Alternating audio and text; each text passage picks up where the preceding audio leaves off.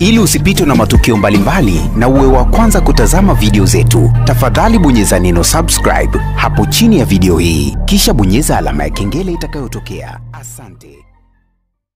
Mambo vipi mwana michezo mambo vipi mwana soka hujambo na karibu katika zile taarifa mbalimbali e, za kimichezo tunazoendelea kukusogezea na kuweza kukujuza kile cha kimichezo kilichoweza kujiri katika siku hii ya leo, huku tukio zima ikiwa ni mchezo wa NBC Premier League, klabu ya soka ya wekundu Msimbazi pamoja na Dodoma Jiji, huku wekundu wa Msimbazi wakiwa nyumbani wakimkaribisha Dodoma Jiji, mchezo utakaochezwa majira ya saa kumi arasili. Bwana, tukukumbushe wewe ambaye umetutembelea hii leo, ikiwa ni kwa mara yako ya kwanza kuweza kubonyeza alama ya subscribe ili usipitwe na matukio na taarifa mbalimbali za kimichezo tunazokuwa tunaendelea kukusogezea mezani kwako, na pia tupende kukushukuru wewe ambaye tayari umekwisha kusubscribe kuhakikisha kwamba upitwi na matukio na taarifa mbalimbali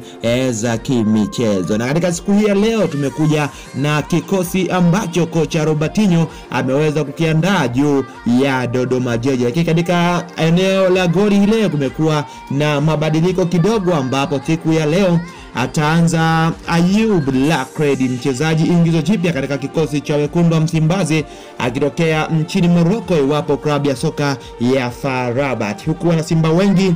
wakitamani kumwona eh, Ayo Brackred ataonyesha kiwango gani katika mchezo wa siku ya leo na beki nambari mbili hii leo atasimama Shomari Kapombe ama show me the way, pamoja na nambari tatu atakayeweza kusimama hii leo akiwa ni Mohamed Hussein, miongoni mwa mabeki ambao wameupiga mwingi kweli kweli katika klabu ya soka ya wekundu wa Msimbazi kwa zaidi ya miaka sita mfululizo, wakiendelea kuwa na ubora ule ule. Wanastahili pongezi kwa klabu ya soka ya wekundu wa Msimbazi. Na nambari nne atasimama Kennedy Wilson Juma pamoja na Chefondo Malone ama ukuta wa Yeriko miongoni mwa ingizo jipya katika klabu ya soka ya wekundu wa Msimbazi, miongoni mwa mabeki walioweza kutulia kabisa katika safu ya ulinzi katika klabu ya soka ya wekundu wa Msimbazi. Na hiyo ndio safu ya ulinzi ya klabu ya soka ya wekundu wa Msimbazi, ambapo amesimama Chefondo Malone pamoja na Kennedy Wilson Juma, miongoni mwa mabeki e, ambao halikuwa watumiwi sana, lakini ni miongoni mwa mabeki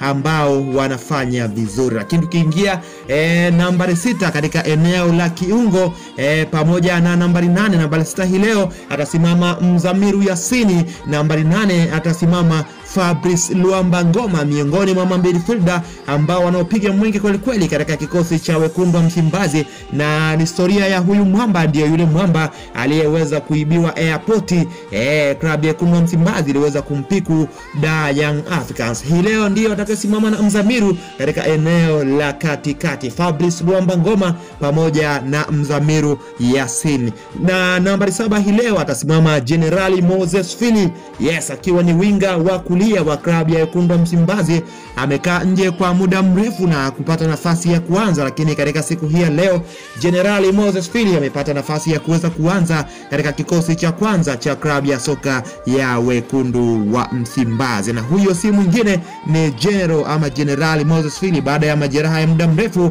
hatimaye ameweza kurejea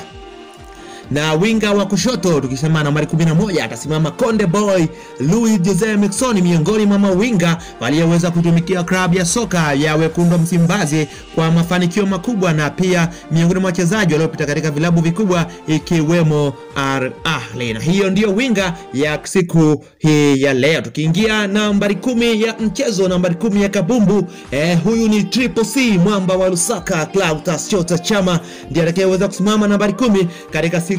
hii ya leo, huku nambari tisa ikiwa ni Willy Esomba Onana ama Leandre Willy Esomba Onana ama Somba Somba. Katika siku hii ya leo, kocha ameweza kumwanzisha kama striker, ingawa anacheza nambari saba, lakini hii leo ameweza kupanda na kuwa striker atakayeweza kufanya mashambulizi katika timu pinzani ya klabu ya eh, Dodoma Jiji, kuasha kwamba klabu ya wekundu Msimbazi inaweza kupata matokeo katika mchezo huu wa leo. Tumefanikiwa kuona miongoni mwa miamba ambao hawakuanza katika, katika kikosi cha eh, kilichoweza kupita ambapo tumefanikiwa kumuona Ayub Lakred akianza hii leo katika kikosi cha wekundu wa Msimbazi, bila kumsahau Fabrice Luamba Ngoma pamoja na